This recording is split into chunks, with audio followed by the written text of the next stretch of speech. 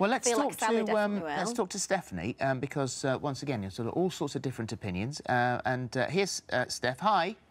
Hi, are you alright? Hi. Yeah, I'm very well, thank you. So you're a size 16, Yep, that's right. and it was the pressure from the media. You became really ill with bulimia, and eventually ended up hospitalised. Oh, God. Yeah, um, basically I was size 16 and I wasn't very healthy in all honesty. It, I pretended to myself I was, I wasn't.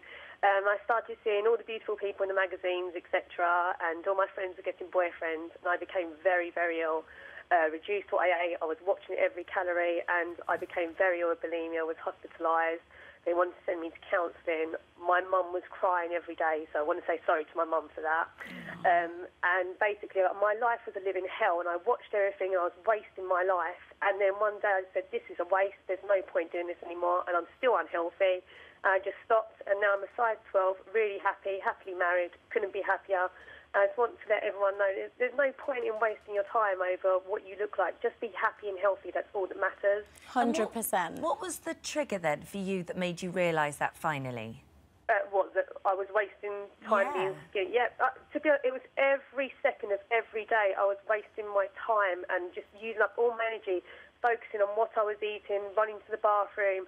And I thought this is ridiculous. I'm wasting every minute of my life. I should just be mm. out living rather than focusing on this.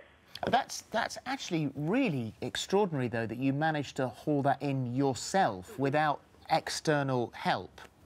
to be honest, I didn't think that external help was going to help me because it didn't matter who I spoke to about it. I was looking at these media pictures, all the magazines, all these beautiful, stunning women, um, and I just knew that no matter what anybody would tell me, unless I realised it for myself, no Yeah. one was going to drum that into me. Well, it just goes to prove that, yeah, uh, it's that it, amazing. it well be done, done. Eve, by the way. Yeah. That's incredible. Thank you.